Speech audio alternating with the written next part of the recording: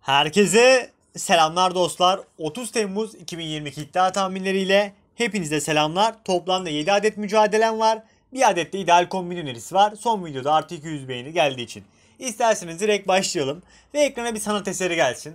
Bu kuponun benim için önemi gerçekten yüksekti. Son verdiğim ideal kombine bu.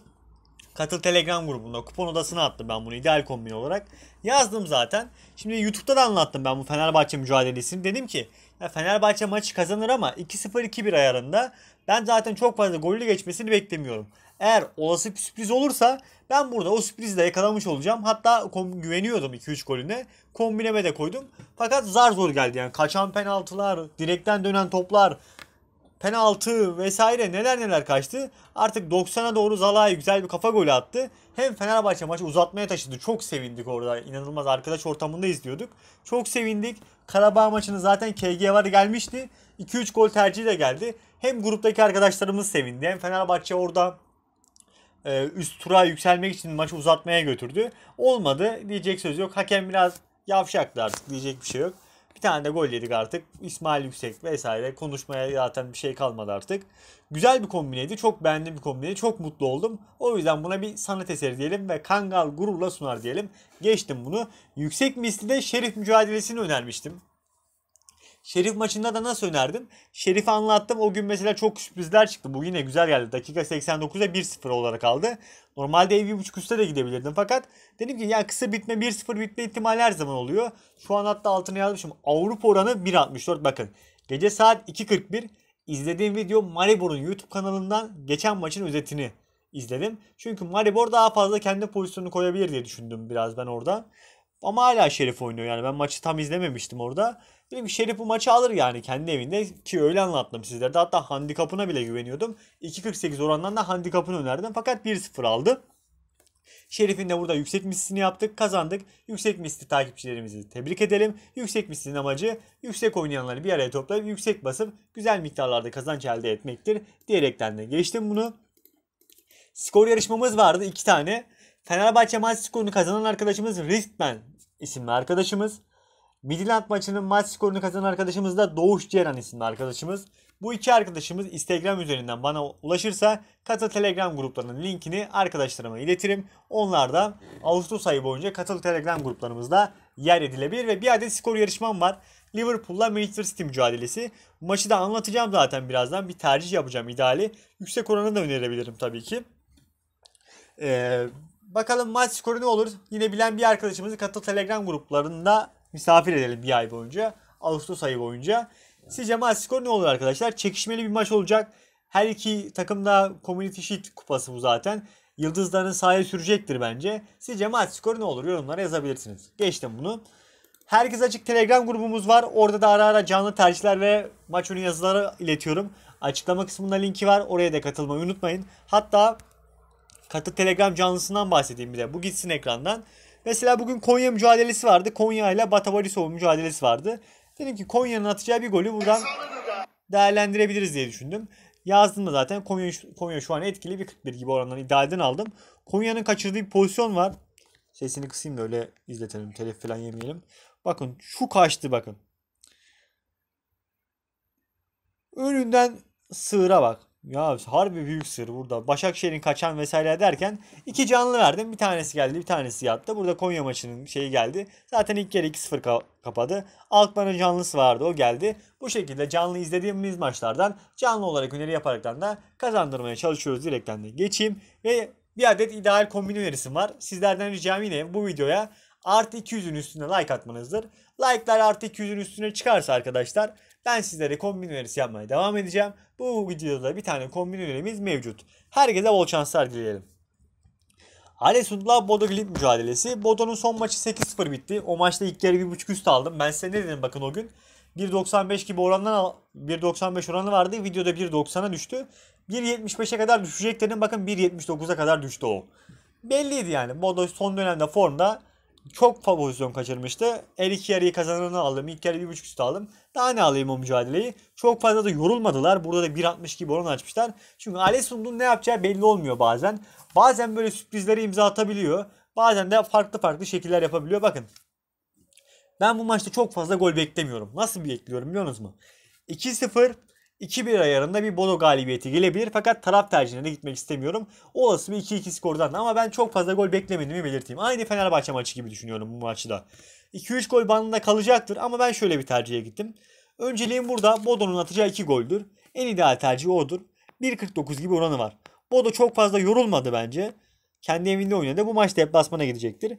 Deplasmana atacağı 2 gole burada 1.49 gibi oran açmışlar ki Bodo son dönemde formda bu kadar formda bir Bodo varken son 2 maçında zaten 13 tane gol attı bakın. 2 maçta gol yemedi 13 tane gol atan bir Bodo takımı var. 2 tane de Alessandro atsın bizi kırmasın. Deplasman 1.5 üst idealden alınabilir. Ben bir de bunun yanına ayıp olmazsa bile bir tercih sunmak istiyorum arkadaşlar.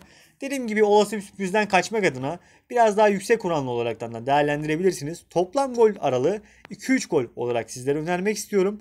Dediğim gibi 2-0-2-1 ayarında bir band kalabilir. 1.81'de bunun oranı var. Şöyle nacizane tavsiyemdir değerlendirecekler. Bol şanslar. Liverpool'la Manchester City mücadelesi. Yani bu maç hakkında konuşulacak çok şey var ama sezonun ilk maçlarından bir tanesi. Benim önümde ideal kadro var. Onu sayayım isterseniz size hemen hücum hatlarında. Hücum hattını saysam veya orta saha hücumu sayayım. Thiago Fabinho Henderson, Diaz, Nunes, Salah. Liverpool'un hücum hattı. Mahrez, Haaland, Grealish, Silva, Rodri, De Bruyne. Yani muhtemelen ideal kadrolar çıkacaktır. City son dönemde aynı olarak devam ediyor. Aynı olarak devam ettiği için Bayern Münih karşılaşmasına da baktığımız zaman da Bayern Münih'i resmen sağdan sildi diyebilirim ben Manchester City'nin. Hatta Haaland'ın açıklaması neydi?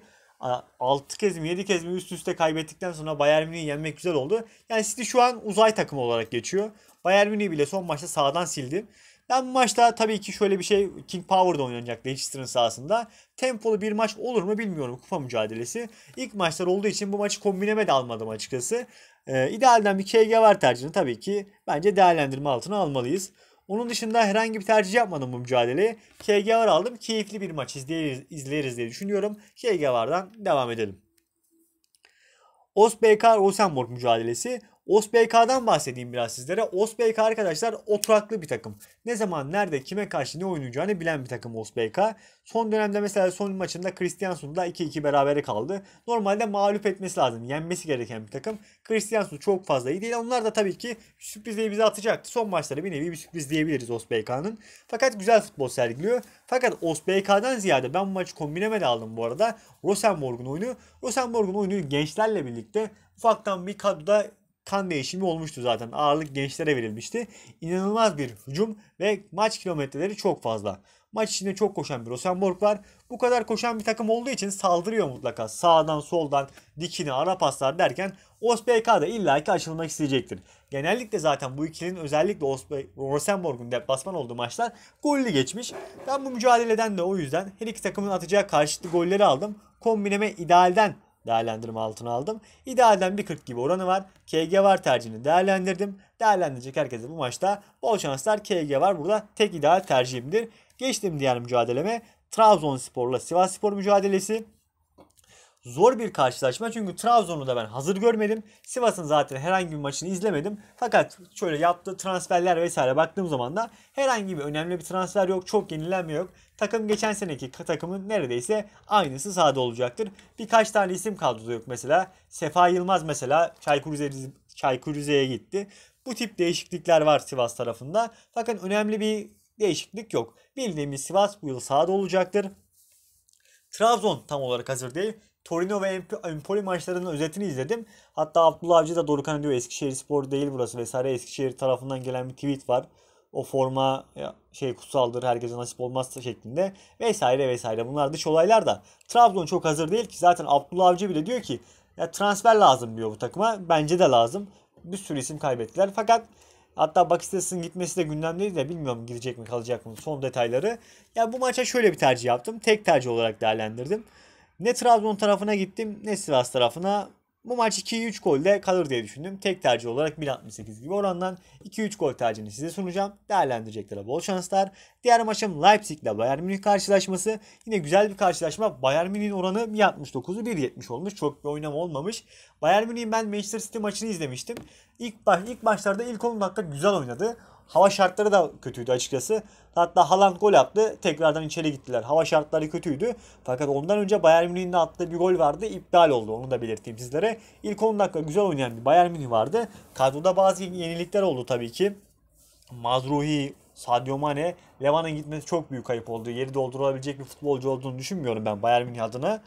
Ee, Birçok isim de aldı vesaire derken Gnabry mesela forvet hattında oynuyor. Bakalım Mane mi olmayacak vesaire. Bu bir kupa mücadelesi. Leipzig bu ilk defa oynayacak bu. Bayern Münih üst üste 10. kez bu kupa maçına çıkacak. Leipzig ise tarihinde ilk defa oynayacak. Bu mücadeleyi kupa mücadelesini Leva gitti, Mane geldi. Delight da geldi mesela. Önemli bir transfer. Leipzig önemli bir transfer yapmadı fakat Enkunku ile sözleşmesini uzattı. Ee, bir de Wolfsburg'dan Schalliger mı ne bir eleman vardı. Schalliger mı ismi nasıl okunuyor? 10 milyon 10 milyon euroya mı ne onu aldılar. Bir önemli transfer olarak onu söyleyebilirim ben. Ben burada düz düşünüyorum. Bayern Münih tarafına gidelim düşünüyor diye düşünüyorum. Ama şöyle gidelim. Deplasmanın atacağı 2 gol alalım. Taraf tercihine de gitmeyelim. Ne olacağı belli olmaz burada. Çünkü Leipzig'in sahasında oynanacak bu karşılaşma. 1.46 orandan e, Bayern Münih'in atacağı 2 gol değerlendirme altına alınabilir. Bayern Münih'te bakalım bu sezon ne yapacak merakla bekliyorum. Gent Turdense mücadelesi. Bu maçı kombineme aldım arkadaşlar. Gent'in az önce mücadelesini izledim. E, 8 dakika pardon ne 8 11 dakikalık özet var böyle FBB Gent diye bir YouTube kanalı atmış. 11 dakikalık özet izledim. Standart ile birlikte 2-2 berabere kaldı. Erken dakikalarda gören bir kırmızı kart vardı Standart, Standart Liège tarafında. Gent 2-2 berabere kaldı. Zaten şey o, o Standart Liège pek gelemedi o maçta. Gent çok geldi geldi geldi geldi 90 artı 3 penaltı bekliyor. Kaleci bence penaltı verilebilirdi. Penaltıyı vermedi. Varda 5 dakika kontrol ettiler belki o pozisyonu. Özetin zaten 3 dakikası var kontrolü. Öyle söyleyeyim ben sizlere. Gent çok güzel bir oyun oynadı orada. Berabere kaldı. Gent zaten kaliteli bir ekip. Bu maçta da 1.40 gibi oran açmışlar zaten Gent tarafına. Ben Gent'i çok istekli gördüm. Oyunculardaki arzu ve isteği. O özette aldım açıkçası. Turidense tarafındaki son maçına baktım. Onlar da ilk maçında berabere kaldılar. Kendi evlerinde oynadıkları bir maçtı. Fakat ezildiler biraz o maçta. Normal tabii ki. Daha kendilerinden güçlü bir takımla oynadılar. Gent'in burada ben doğrudan galibiyetini aldım. Taraftarcı olarak maç sonu biri sizlere öneririm. Değerlendirecekler bol şanslar. Porto ile Tondela mücadelesi. Bu maç hakkında da biraz notlar çıkardım. Porto bu kupayı arkadaşlar 22 kez kazanmış onu belirteyim. En çok kazanan Porto liginde Portekiz ligindeki takım Porto zaten. Geçen yılın kupa finalisti Tondela e, lig düştü. Küme düştü. Şu an alt ligde. Ona rağmen bu kupaya oynamaya hak kazanıyor finalist olduğu için. Tondela da transfer yaptığı gözükmüyor yani. Kimi aldı, kimi sattı bilmiyorum. Fakat Porto tarafında birkaç transferler var. Mesela Vitinha gitti, Vieira gitti. Bunlar önemli isimler ve önemli paralara gitti. Onlar yine Palmeiras'tan bir forvet aldılar. Genç bir forvet. Braga'dan bir defans alındı. Yine onlar da bir yaklaşık 20 milyon euroluk bir ikisine para harcadılar. Ben burada Porto tarafındayım. İlk kere bir 1.35 gibi oranı vardı. Hala aynı. İlk kere bir tercih alabilirsiniz 1.35 gibi orandan. Onun dışında şöyle de bir tercih yapabilirsiniz. Ev sahibi her iki yarıyı kazanır. En altta kalıyor. 1.88 gibi oranı var şurada. Ev sahibi her iki yarıyı kazanır da 1.88 oranı var. Değerlendirecekler. Onu da değerlendirme altına alabilir. Benim ideal kombinem ekrana gelsin. İdeal kombinem 1.96 gibi orandan OSBK Rosenborg mücadelesinin KG varı, Gent ile Turidense mücadelesinde maç sonu biri her iki takımı da inceledim, analizledim, özetledim her iki maçlarını vesaire izlediğim takımlar umarım gelir, umarım idealden kazan sağlarız. Hepinize bol şanslar, görüşmek üzere, seviliyorsunuz, bay bay. Videomuza like atmayı unutmayın.